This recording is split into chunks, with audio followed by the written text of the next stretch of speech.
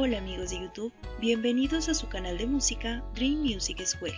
El día de hoy vamos a hacer una reparación pequeña en esta guitarra eléctrica que nos ha llegado. Tenemos en este caso una guitarra Ibáñez de la serie Gio, la cual tiene su potenciómetro o controlador de volumen totalmente roto. Como podemos observar, el eje del potenciómetro se sale totalmente, así que en este video vamos a aprender a cambiarlo por uno nuevo. Lo primero que debemos hacer es retirar la perilla y por medio de una llave de copa del calibre necesario vamos a aflojar la tuerca. Esas tuercas no deben estar apretadas excesivamente, así que será muy fácil de retirar. Retiramos la tuerca y su respectiva arandela y podemos observar que el potenciómetro ya queda flojo. Ahora vamos a girar la guitarra y vamos a retirar la tapa protectora del circuito. Para ello retiramos los tornillos.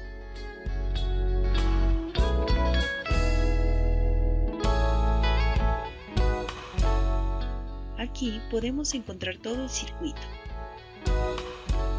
Retiramos el potenciómetro y podemos observar que tenemos tres cables conectados. Este pequeño que está suelto y tiene un solo núcleo es el cable que está conectado al puente y sirve para que las cuerdas hagan masa o se conecten a tierra.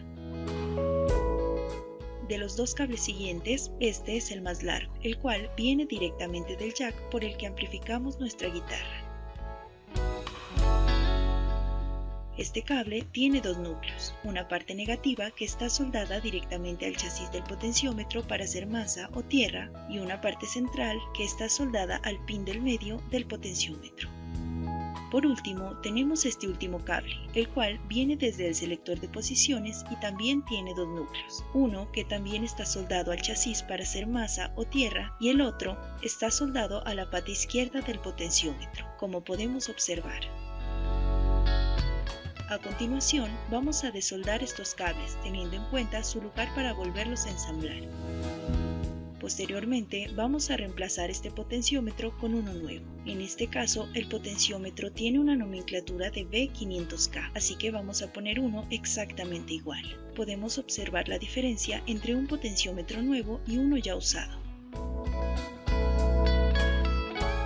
Procedemos a sujetar la pieza, en este caso el potenciómetro, y a desoldar los cables. Para ello, untamos un poco de pasta para soldar en la punta del cautín y procedemos a aplicar calor en las partes donde queremos quitar los cables. En este caso, vamos a empezar con los núcleos que están soldados al chasis.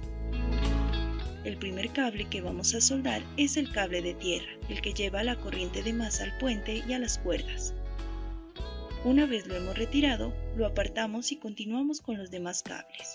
Vamos a retirar ahora el cable de selector de posiciones. Para ello, primero quitamos el núcleo que está pegado a tierra y luego el núcleo que está en la pata izquierda del potenciómetro y lo separamos. Por último, quitamos el cable del jack del mismo modo. Retiramos primero el núcleo que está en tierra y luego la pata o el núcleo que está en el pin del centro del potenciómetro.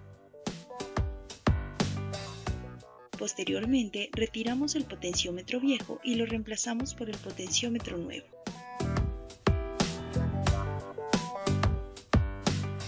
Para que la soldadura tierra sea exitosa, se recomienda limar levemente el lugar del chasis donde van a ir pegados los cables.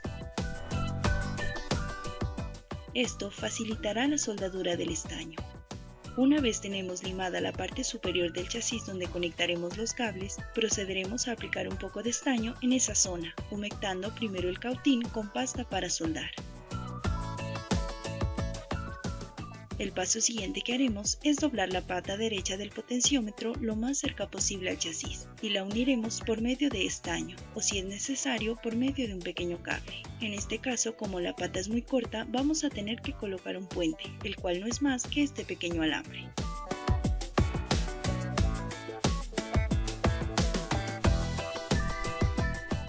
y posteriormente el núcleo que va al chasis procedemos a doblarlo hasta que haga contacto con la soldadura que hemos preparado anteriormente. Cortamos el excedente y dejamos el cable listo. Continuación vamos a proceder a soldar el cable de tierra, es decir, el cable que está pegado al puente directamente y tiene un solo núcleo, el cual también va soldado al chasis del potenciómetro. El paso siguiente será volver a reconectar el cable propiamente del jack. Para ello, soldamos el núcleo positivo de este cable a la pata central del nuevo potenciómetro.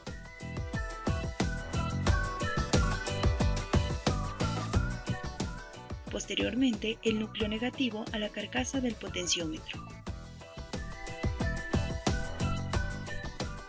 Por último, solo nos queda reconectar el cable procedente del selector de posiciones. Para ello, primero soldamos el núcleo positivo de este cable a la pata izquierda del potenciómetro. Y por último, llevamos el eje negativo a la carcasa del potenciómetro.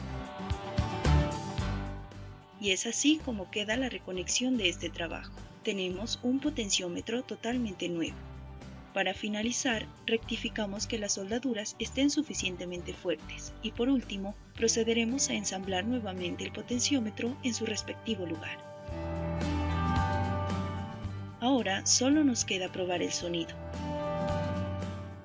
Y para ello vamos a conectar una línea a nuestro amplificador. Probamos que tenga señal y posteriormente vamos a conectar nuestra guitarra.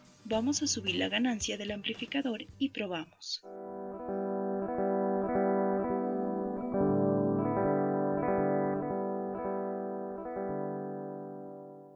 verificamos las posiciones de las pastillas. Segunda posición y tercera posición. Escuchamos que el trabajo quedó satisfactoriamente realizado.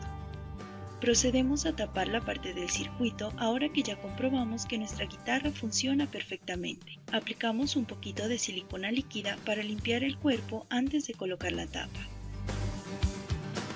Dejamos secar aproximadamente 2 o 3 minutos y la retiramos con un paño limpio. Y tendremos una guitarra lista para hacer más música. Esperamos que este video haya sido del agrado de todos y sobre todo de utilidad. No olviden suscribirse para que podamos seguir haciendo más contenido con la mejor calidad. Hasta la próxima.